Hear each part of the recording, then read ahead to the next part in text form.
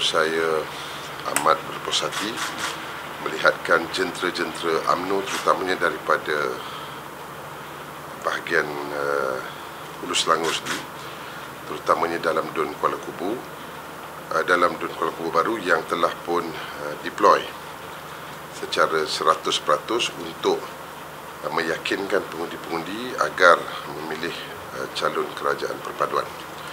Uh, saudari Pang. Dan uh, ini akan kita tingkatkan kita jangan terlalu yakin kerana apa saja boleh berlaku uh, di pusingan akhir seperti ini namun secara keseluruhan kita akan tingkatkan uh, jentera kita terutama sekali untuk memastikan uh, ahli-ahli UMNO akan keluar mengundi beramai-ramai dan memberikan undi kepada calon kerajaan perpaduan saudari Pang.